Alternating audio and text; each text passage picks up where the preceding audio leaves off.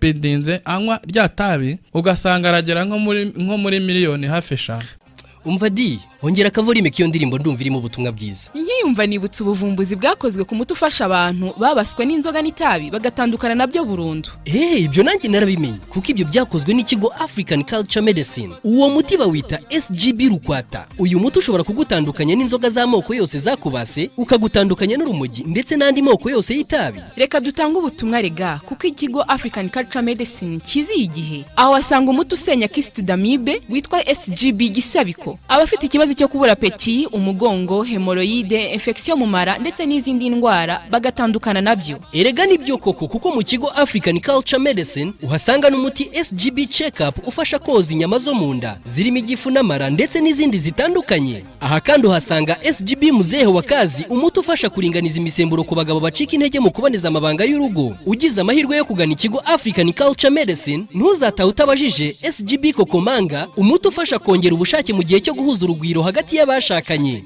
Sgb imvura idahita uyu nawo ni umuti uvura ifumbi ku bagore ukanaringaniza imisemburo yabo ukanarinda ihindagurika ry'imihango n'ububabare mu mihango ndetse na za infection zitandukanye. Mu kigo african culture medicine ni naho kandi usanga amavuta avura indwara z'uruhu akoze mu mizi ya moringa n'igikakarubamba. Uhasanga kandi pomade ivura imitsi itajyana amaraso neza abagira ibibazo by'ibinya isereri kubura ibitotsi umunaniro uburibwe bw'ingingo n'amagufa. Ikigo african culture medicine ugisanga mu mujyi wa kigali i nyabugogo ku mashyirahamwe harangwa n'icyapa cyanditseho ivuriro ry'imiti gakondo nyafurika hateganye neza n'aho imodoka zisohokera zijya mu ntara ndetse ukaba wanarisanga mu karere ka gasabo mu murenge wa jabana akagari ka bweramvura. Ukeneye kugana ikigo african culture medicine ndetse unashaka gusobanuza ibindi bitandukanye hamagara kuri zeru karindwi umunani umunani mirongo inani na gatatu mirongo itanu na gatatu makumyabiri n'icyenda cyangwa zeru karindwi umunani gatatu mirongo icyenda na gatatu mirongo itanu na kane mirongo ine na karindwi. Ushobora kandi no guhamagara kuri zeru karindwi kabiri umunani mirongo inani na gatatu mirongo itanu na gatatu makumyabiri n'icyenda. Eee turongeye rero ati turaje turaje ni mu ruziga rw'ubuzima nta handi ni hamwe turimo kuganirira. Eh, ububi n'ingaruka bikomoka ku itabi. Rero nta handi ngo mwabona igisubizo cya byose muri nyabugogo ku mazu y'amashyirahamwe muri african culture. Aho mushobora gusanga umuti bita rukwata. Babanje rero ubundi handitse ivuriro ry'imiti gakondo nyafurika ni cyo cyapa kiba cyanditseho Eh, uhita uhabona ugisohoka muri gare nk'uko jingwa cyangwa se publicite bigaragaje. Eh, ubundi ikiriho ni ugufasha abantu kuko eh, bigaragara ko hari abenshi babashije kubireka cyangwa hari n'abo byananiye ariko usanga ko cyane nk'abasaza bigira ingaruka mbi bibagiraho ingaruka cyane kuko bituma basaza imburagihe noneho urubyiruko narwo rugatuma batabasha kuba bagera mu iterambere nk'uko bikwiye. Ariko mumbabarire tugiye guha ikaze n'ubundi bose tukagenda tuganirira. Ariko reka du- twibutse abantu turi kumwe mu kiganiro ko niba bashaka guhamagara gutanga igitekerezo nangwa se kubaza kuri kino kibazo cy'imiti nangwa se uyu muti witwa rukwata ukura umuntu ku itabi ndetse no ku nzoga. Bashobora guca kuri zeru karindwi umunani mirongo ine na rimwe icumi gatatu gatatu cyangwa icumi mirongo itanu. Cyangwa icumi cyangwa mirongo itanu. Ubutumwa bugufi ni zeru karindwi umunani magana atandatu mirongo inani na gatandatu mirongo icyenda na kabiri. Abari buze turabakira ni kuri iyo nimero eh, ariko urakomeza tuganirire muganga. Eh, ikindi iyo nomero yanjye iba iri kuri watsapu hari abashobora kumbona kuri watsapu tukaganira kuko hari abo njya mfasha. Ikindi ubu ndimo ndafasha n'abantu batuye kure. Eh, buryo? Eh, kuko ubu muti urashobora kukugeraho uri cyangugu mu bugarama. Mm. ukakugeraho twaganiriye nkawugushyirira kuri ajansi ukakugeraho. Ntabwo- waba uri nyagatare aho waba uri muri iki gihugu ajansi ntabwo- namwe- mu rwanda. Itagera. Umva uburyo buroroshye. Andika bosco usigemo akanya wandike rukwata. Witoreza kuri noneho za nomero uhite wohereza kuri zeru karindwi iminani itatu itatu gatanu itatu kabiri icyenda. Urebe ko ako kanya. Urabona igisubizo. Cyane rwose. Uburyo bwaroroshye Eh, ikindi eh, abantu badukurikiye eh, bakomeze ku- kutubaza kuko kubaza bitera Mm, kumenya. urenda bahamagara ahubwo twatinze ku kubitaba wari ukomeje kutubwira? Na yo ndi gukomeza kubabwira yuko burya eh, kwigisha ari uguhozaho kandi noneho eh, tugomba gukomeza tubishyiramo imbaraga. Eh, ni na yo mpamvu wumva abantu barimo barashaka kwitabira gucunga amafaranga biyororera izo nkoko. Kuko buriya ibyo birambabaza iyo mbona amagi ava za uganda. Kandi ahangaha hari, imishinga. hari abantu bafite imishinga yo korora inkoko. Abantu bakaba bafata iya mbere mu korora amagi igi rikava ku ijana mirongo itanu rikagura mirongo itanu. Akaba menshi isoko ribaye na byinshi twagemura no hanze. Ariko niko bimeze. usanga ko ikibazo cyo kutorora na cyo buriya ubworozi ni ikintu nkunda cyane niyo mpamvu nanjye nshaka kukinjiramo. Eh, ariko tukigaruka kuri ibi bya leta twari turiho bigendanye n'ubuzima eh, abantu benshi bakunze kwibasirwa na amibe bakibasirwa eh, n'ingorane zo kubura apeti kutituma neza ibibazo by'igifu ibibazo by'amara. Ikindi imyanya y'ubuhumekero mbasha kuvura sima nkoza ibihaha ngakuraho eh, infection ziba ziri mu myanya y'ubuhumekero ku buryo umuntu ahumeka neza.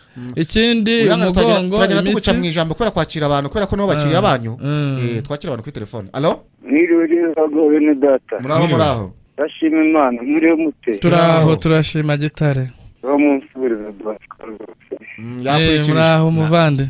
Aho neza muganga. Ndaho ndashima imana inkono igashirira. Oya niko bimeze?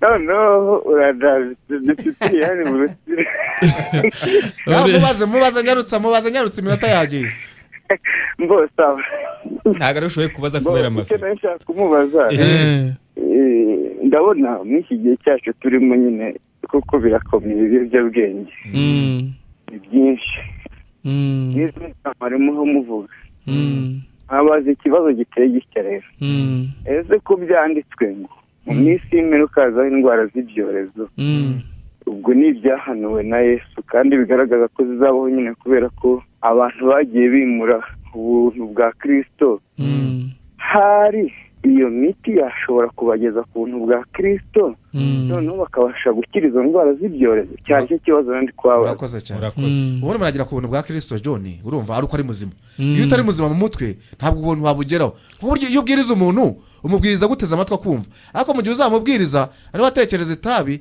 atekereza uganda warajya atekereza izindi nzoga n'ubu ntabwo azakumva. Ariko nkiri aho ngaho nunganira uno muntu ubundi ibi byose ni sekibi.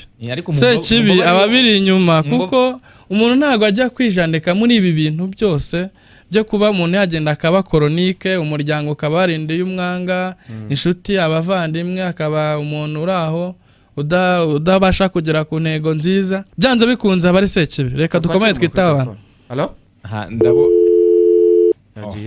kugenda aragiye tubakira. ariko turakomeza tugenda tubakira. Reka nanjye mbafashe wenda kuri kino kibazo. wakira umuntu kuri telefone. Halo? Karame. We ni uwo musaza w'inyanza ugarutse Eh, ikibazo nari mfite bagiye tubona eh, indwara itabi rigenda ziteza mm, ariko nk'umuntu utarinywa hari ukuntu ujya kubona ukabona umuntu urinywa mm, ugeze gutya ukubitanye na wa mwotsi waryo mm, ese za ndwara wa muntu aba arwaye mm. Ndetse hakiyongera n'izo itabi ritera. Ubwo ngubwo ntabwo byafasha ntabwo byafata umuntu mudufashe murakoze. Urakoze cyane. urakoze. Hano mu bushakashatsi baje kugaragaza ko itabi ntabwo ryangiriza gusa uwaritumuye ahubwo n'uwaritumuriwe. Warinywerewe ku ni ukuvuga ruhande. ngo ahubwo bagaragaza ko uwaritumuriwe akunda kugira ingaruka nyinshi nawe ndetse ngo no kuba yarenza Wari- uwaritumuye wari- warinyweye Ni. ukumva rero iki cyo ni ikibazo kandi ni ni cyo gisubizo ni cyo gisubizo cy'uyu muntu warubajije uriya musaza uri nyanza. Ariko kuri uyu nguyu ngo mbese ko muri iyi minsi y'imperuka zaza ibi- ibibazo byinshi bitandukanye ngo mbese hari iyi miti yakuraho ibyo bibazo? No mu gihe cya yesu burya hariho ibibazo. Byari bihari. Noneho umuntu akaza ari impumyi undi akaza ari Ah, adafite ukuguru. undi akaza ari ikibembe ari umubembe. Eh, bitandukanye. Rero yabakizaga mu buryo bwinshi butandukanye. Bamwe yarabasengeraga abandi akababwira ati mujye mu kidendezi. Abandi agafata akondo akagatoba akabasiga ku maso. agasiga ku maso bagahumuka ubundi yesu yakoraga ibintu byinshi bitandukanye ari nayo mpamvu no muri kino gihe hari abo turi guhereza kwa bosco? Hari abo turi guhereza kwa bosco. Bagakira ibyo bibazo. Ibyo bibazo byose bikagenda bikarangira. hari n'abantu bugarijwe n'ubukene. N'ubukene. n'ubukene bugatuma bajya kunywa itabi. Ijya kwa ginesi ari Guinness, eh. ugura inkoko worore ubashe gukirigita ku ifaranga. Eh, Mm. abafite ikibazo cy'imirire mibi namwe. Mugende mugane kwa monika babe basumate abe Mugirire babe basumati Eh, muze wakazi ubundi ntibishatse kuvuga ko uko umuntu akura hari ukuntu agenda atakaza imbaraga. Uko yatangiye akiri umusore ntabwo ariko agomba gusaza. Rero icyo dukora muri african culture niyo mpamvu twakoze uwo muti bita muzehe wa kazi mbese ubasha gufasha umuntu ku buryo igihe atangiye ikivi agomba kucyusa. Kuko byanze bikunze igihe uri guhuza urugwiro n'uwo mwashakanye hari intego uba ufite. Uba ugomba gukemura intego wihaye. na- na bibiri irabivanguye yatangiye umurimo ari nawe Eh, uba ugomba gusoza ikivi cyawe niyo mpamvu rero eh, tugerageza gufasha abasaza. Ikindi duf- dufite n'uriya muti bita mvura idahita. Kuko ni umuti ubasha gutuma eh, icyo twakwita bamukagatare. Amavangingo. bahindura iryo zina. Eh, bahinduye niyo mpamvu urumva nyine nawise imvura idahita kugira ngo abantu babashe kubyiyumvamo neza. Yakoresheje imizimizo niba imvura Eh, idahita. eh, uri umuhanga mu eh, kinyarwanda kuko buriya rega umuco tugomba kuwusigasira. Kuko buriya gakondo ni ikintu nkunda cyane. Kuko si n'ibyo gusa impamvu mbikunda buriya ndi n'umuhanzi gakondo. Buriya nakuririmbiye wavuga uti uyu muntu wacu koko gakondo ayirimo neza. Eh, buriya rero icyo ngicyo nkigarutseho eh, tugira n'imiti ikora ku ndwara zo ku ruhu abantu barwara amahumane ise ibihushi eh, ibibazo by'imitsi ibibazo by'uburibwe bw'ingingo niyo mpamvu tugira n'ira pomade ifasha abantu. Ikindi tubonereho no gusobanurira abantu ko eh, nk'inzoga n'itabi byo ni mu masaha abiri. Ntabwo ari uguhora umuntu anywa umuti. Abantu benshi bavuga ati buriya se ntazampa injerekani. Eh, ko nanyweye inzoga nyinshi. Ati, ntazampa injerekani y'umuti. Imyaka cu- imyaka cumi n'itanu narinyweye Eh, rero ni icupa rimwe ikindi nashatse gufashaho abantu ubu nabakuriyeho mirongo itatu ku ijana. Eh, iyo poromosiyo izamara uku kwezi kose. eh. Mirongo itatu ku ijana nayabakuriyeho ni ikindi noneho ikindi nakoze kuko nshaka ko ah, abankurikiye bagomba kumfasha eh, ni ukuvuga ngo igihe unzaniye umuntu unywa itabi cyangwa unywa inzoga eh, african culture iguhemba makumyabiri ku ijana. Byayo uwo muntu aje kwivuriza. ibyo bintu bisubiremo. Eh, nuko aho- gahunda nayipanze kuko ndashaka gufasha abantu nta kujenjeka. Nta kujenjeka, eh. Mm. hashyira ubutinde niko bimeze Eh, ni ukuvuga ngo mu gihe uje kwivuza muri african culture eh, gukuriho mirongo itatu ku ijana. Kugira ngo ubashe gukira ibibazo by'itabi ibibazo bya mibe ibibazo by'imitsi ibibazo by'igifu. Icya kabiri ku muntu unzaniye umukiriya wabashije gutanga mesaje yuko yumvise muganga bosiko kuri amazing grace hano ku buntu butangaje atanga iyo poromosiyo iyo amuzanye muhemba makumyabiri ku ijana tekereza niba yishyura ibihumbi magana abiri aba afite ibihumbi bingahe si mirongo ine? Ariko- Eh, ntabwo imiti yanjye inahenze cyane. Ugereranyije. Mbabarira wongere usubiremo abakunzi bacu nangwa se bari kutwumva ku ijana na gatanu igice kimwe na mirongo icyenda n'ibice bibiri Mm. basubiremo nimero zawe za Eh, nomero zanjye ni zeru karindwi iminani itatu itatu gatanu itatu kabiri icyenda. Um, urumva kwakira ntarazifashe? umuntu? Maze wakira umuntu. Urumva ntarazifashe Wa- neza? wasanga agiye kuzana umukiri. Akira umuntu twumva alo. Muraho Mm. ongera ijwi. Mm, none nanjye ndi rutsiro mu bitenge numva ngo mvura n'impyiko n'imitima n'imyizima byose na za mibe n'ibiki abantu benshi bararembye none bimeze bite? Aragusubiza. Eh, usabwa kuza tukagufasha ni hano nyabugogo hateganye na gare eh, aho imodoka zisohokera ziva muri gare mu mazu y'amashyirahamwe hafi ya giti banka cyangwa se uhita ubona icyapa cy'ivuriro ry'imiti kandi gakondo nyafurika. Ni byiza rwose ndabafasha. telefone. Mm. biba byiza kugira ngo aze yisuzumishe bamenye ngo arwaye izi ndwara babone kumuforomata ariko bamenye icyo icyo arwaye. Hari n'ikibazo kibaho. Ese muganga ni we us- ushaka umurwayi nangwa umurwayi ni we ushaka muganga Mu- umurwayi n'ushaka muganga uretse muganga agiye gushaka umurwayi rero um- umuganga arahari n'ibyapa umugenzi ari ujya gutega ikindi imodoka. yaguhaye nimero Mm. rero kumugeraho biroroshye cyane. Ni kuri zeru karindwi umunani mirongo ine na rimwe icumi gatatu gatatu wahanyura kane wahanyura tukakwitaba nangwa se tukakwakira. Akira umuntu alo? Alo? Yagiye. Eh, ikindi twabaha na tigo hari abantu benshi baba bafite tigo. Eh, ni zeru karindwi noneho kabi- zeru karindwi kabiri imwe ugashyiraho iminani ibiri itatu gatanu itatu kabiri icyenda. Muri make ni ugukuramo umu- umunani umwe gusa ugashyiraho kabiri Eh, ugakomeza ubwo biba bibaye. Biba bibaye. Eh. uba wangezeho rwose. Okay Mm. urukumva rero ko ari byiza cyane mu by'ukuri noneho nge hari akandi kabazo k'amatsiko. Minota na yo iminota irarangiye Eh, iminota ibigende nyaruka. Eh, Mm. akabazo k'amatsiko. Ese wazatwemerera igihe kimwe tukazagutumira ukazana n'umutangabuhamya. Ibyo birashoboka cyane ibyo banza rwose. bakiri umuntu atagenda atumvise ikibazo ibyo ushaka kugira ngo mbabaze noneho. Mm. Eh, none kurimo mukorera i kigali gusa Mm. nta mashami mugira. Kugira ngo abantu bajye bagana batagombye gukoresha amatike Eh, African Culture nta yandi mashami ifite ikorera Nyabugogo gusa.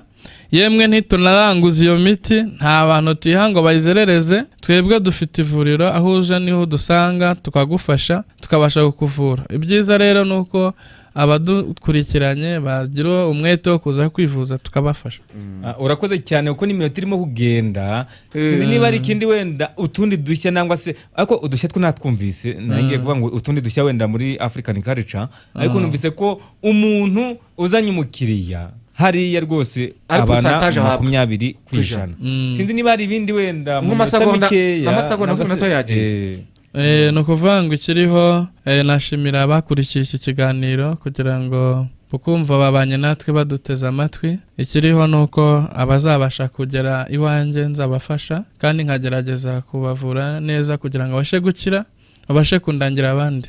Kuko ni ibintu nkora mbikunze kandi mbimazemo igihe imyaka makumyabiri mbikora ngomba kubikorana ubushishozi ku buryo wumva uyakira akanzanira undi. Urakoze cyane abo twabanye mu kiganiro. Dore ko abatabonye uburyo bwo guhamagara bakomeze bahamagare muganga bosco kuri ya nimero ya zeru karindwi iminani itatu mirongo itatu na gatanu mirongo itatu na kabiri icyenda. Cyangwa se waba ushaka tigo wa munani umwe ukawukuramo ugashyiramo kabiri. Reka dushimire muganga uturutse muri iriya vuriro reka namwe tubashimire. Nanjye mwari kumwe ni emu john. Ese nanjye bagabo john wifuriza gukomeza kugira amahoro y'imana? Bayi bayi na hejo umva di ongera akavorime k'iyo ndirimbo ndumva irimo ubutumwa bwiza. Nkiyumva nibutse ubuvumbuzi bwakozwe ku muti ufasha abantu babaswe n'inzoga n'itabi bagatandukana na byo burundu. Eee ibyo nanjye narabimenye kuko ibyo byakozwe n'ikigo african culture medicine. Uwo muti bawita sgb rukwata. Uyu muti ushobora kugutandukanya n'inzoga z'amoko yose zakubase ukagutandukanya n'urumogi ndetse n'andi moko yose y'itabi. Reka dutange ubutumwa rega kuko ikigo african culture medicine kiziye igihe. Aho wasanga umuti usenya kisitudamibe witwa sgb gisabiko. Abafite ikibazo cyo kubura peti umugongo hemoroyide infection mu mara ndetse n'izindi ndwara bagatandukana na byo. Erega ni byo koko kuko mu kigo african culture medicine uhasanga n'umuti sgb check up ufasha koza inyama zo mu nda zirimo igifu n'amara ndetse n'izindi zitandukanye. Aha kandi uhasanga sgb muzehe wa kazi umuti ufasha kuringaniza imisemburo ku bagabo bacika intege mu kuboneza amabanga y'urugo. Ugize amahirwe yo kugana ikigo african culture medicine ntuzatahe utabajije sgb kokomanga umuti ufasha kongera ubushake mu gihe cyo guhuza urugwiro hagati y'abashakanye. Sgb imvura idahita.